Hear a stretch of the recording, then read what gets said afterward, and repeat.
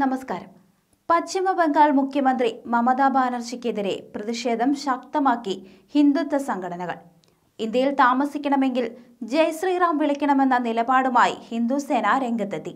ഡൽഹിയിലെ തൃണമൂൽ ഓഫീസിന് മുന്നിൽ പോസ്റ്ററുകൾ ഒട്ടിച്ചായിരുന്നു ഹിന്ദുസേനയുടെ പ്രതിഷേധം. ശ്രീരാമൻ ഇന്ത്യക്കാരുടെ പിതാമഹനാണ്. അദ്ദേഹത്തിന്റെ പേരുച്ചരിക്കാൻ പ്രയാസമുള്ളവർ രാജ്യം വിട്ട് പുറത്തു പോകണം. ഇന്ത്യയിൽ താമസിക്കണമെങ്കിൽ ജയ് ശ്രീറാം വിളിച്ചേ മതിയാകൂ. ഹിന്ദുസേന നേതാവ് ബാം താക്കൂർ പറഞ്ഞതിങ്ങനെ നേതാജി സുഭാഷ് ചന്ദ്രബോസിന്റെ അനുസ്മരണ പരിപാടിയിൽ ബി ജെ പി പ്രവർത്തകർ ജയ് ശ്രീറാം മുഴക്കിയതിനെ തുടർന്ന് മമതാ ബാനർജി വേദി വിട്ടതോടെയാണ് പുതിയ വിവാദങ്ങൾ ആരംഭിച്ചത്.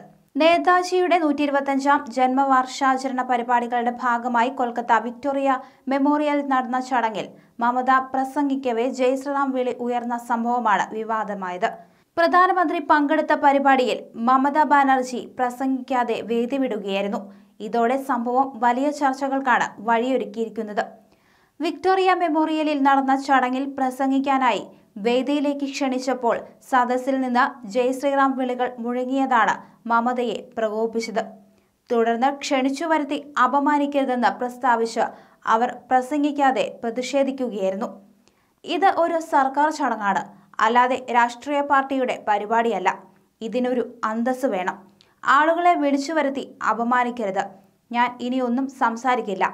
ജയ് ബംഗ്ല ജയ് ഹിന്ദ് മമത ബാനർജി പറഞ്ഞു. തുടർന്ന ചടങ്ങിൽ നിന്നും മമത ഇറങ്ങിപ്പോവുകയായിരുന്നു. നിയമസഭാ തെരഞ്ഞെടുപ്പിൽ ബി ജെ പിക്കെതിരെ ഈ സംഭവം ആയുധമാക്കാനുള്ള നീക്കത്തിലാണ് തൃണമൂൽ കോൺഗ്രസ്. അതേസമയം തന്നെ ബി ജെ പിക്കുള്ളിൽ തന്നെ സംഭവത്തിൽ വ്യത്യസ്ത അഭിപ്രായമാണ് ഉള്ളത്. ജയ് ശ്രീറാം മുദ്രാവാക്യം ചിലർ സ്നേഹത്തോടെയും ബഹുമാനത്തോടെയും പ്രതിഷേധത്തോടെയും ഉപയോഗിക്കാറുണ്ട്. എന്നാൽ മുഖ്യമന്ത്രി പ്രസംഗിക്കാൻ എഴുന്നേറ്റപ്പോൾ അത്തരം മുദ്രാവാക്യങ്ങൾ മുഴക്കിയതിനെ ഞങ്ങൾ പിന്തുണയ്ക്കുന്നില്ല. അത് സംഭവിച്ചുപോയി. മുൻ എം എൽ എയും ബി ജെ പി വക്താവുമായ ശ്രമിക് ഭട്ടാചാര്യ സംഭവത്തിന് ശേഷം പ്രതികരിച്ചു. എന്നാൽ കൈലാഷ് വിജയവർഗിയയും ദിലീപ് ഘോഷും വളരെ ജനപ്രിയ അഭിവാദത്തിനെതിരെ മമത പ്രതികരിച്ചതിനെ വിമർശിച്ച് രംഗത്തെത്തി. സാംസ്കാരിക മന്ത്രാലയത്തിന്റെ പരിപാടിയിലേക്ക് കൂടുതൽ ക്ഷണക്കത്തുകൾ പാർട്ടി പ്രവർത്തകർക്കാണ് നൽകിയതെന്നും സദസ്സിലുണ്ടായിരുന്നത് ഭൂരിഭാഗവും ബി ജെ പി പ്രവർത്തകരായിരുന്നുവെന്നുമാണ് ആരോപണം. പരിപാടിക്ക് രണ്ട് ദിവസം മുമ്പായി നിരവധി എം പിമാർ വിക്ടോറിയ മെമ്മോറിയലിൽ ഉണ്ടായിരുന്നു. അവരാണ് അതിഥികളുടെ പട്ടിക തയ്യാറാക്കിയതും ക്ഷണക്കത്ത് ആർക്കൊക്കെ നൽകണമെന്ന് തീരുമാനിച്ചതും.